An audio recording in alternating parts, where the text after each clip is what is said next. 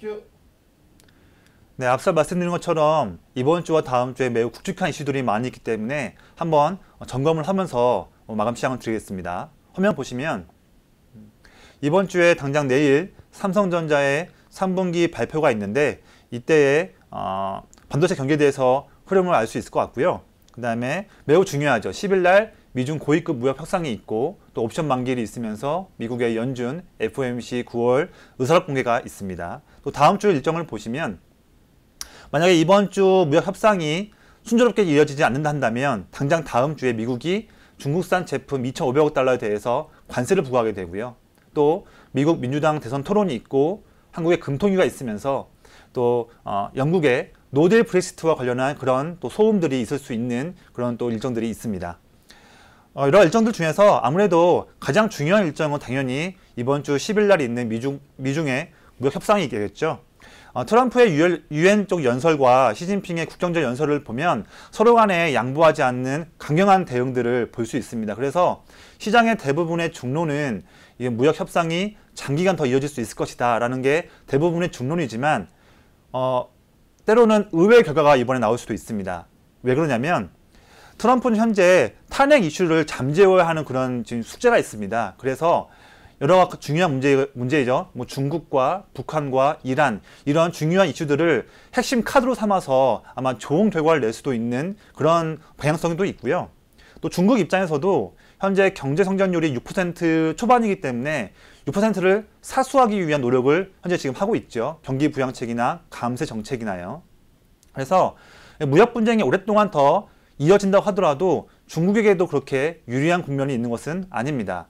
또한 한 가지 더 뭐냐면 만약에 내년 대선 때 어, 트럼프를 떠나서 민주당이 된, 다고 한다면 아마 바이든보다는 이번에 떠오르고 있는 엘리자베스 워런이 아마 두각을 나타낼 수도 있을 것입니다.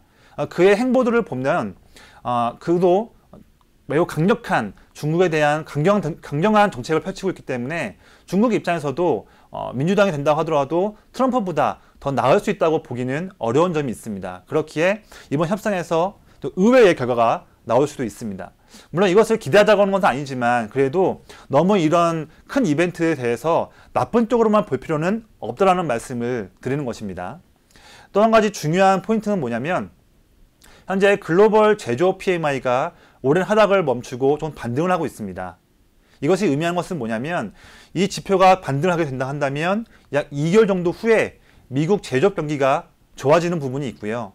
미국 제조업 경기가 좋아지게 되면 시차를 두고 3개월 후에 우리나라의 수출 데이터도 좋은 그런 결과를 낼 수가 있을 것입니다.